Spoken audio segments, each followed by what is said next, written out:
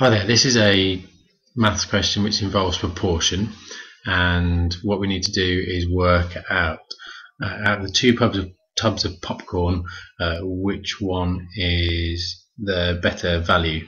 Rob says it's the 200 gram large tub is better value and Linda says that it's the 175 gram regular tub.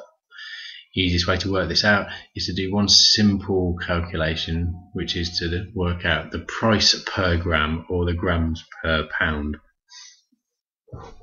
And in this case, I'm just going to do grams per pound. So for a pound, you get more grams in the large tub or the regular tub.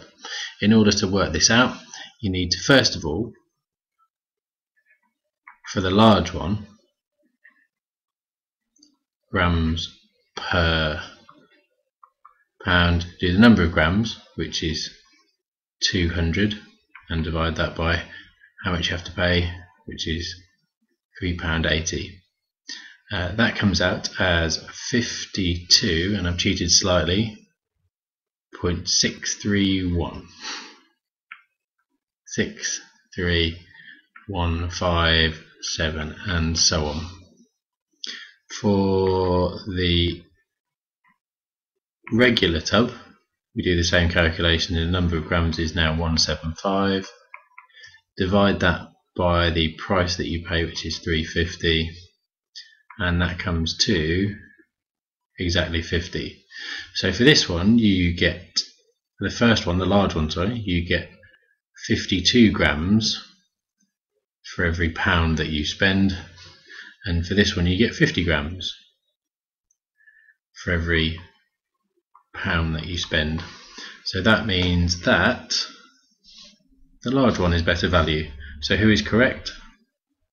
Rob. And the reason, showing all the working up there, is that the large tub gives more grams per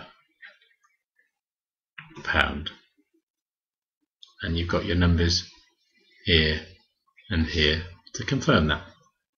This is quite a common question and um, with the new specification for Edexcel and for others you'll see a little star up here indicating that you need to have a written sentence at the end. Comparing amounts and best buys is quite a common question so I hope that this has helped you prepare for any exam questions like this that come up.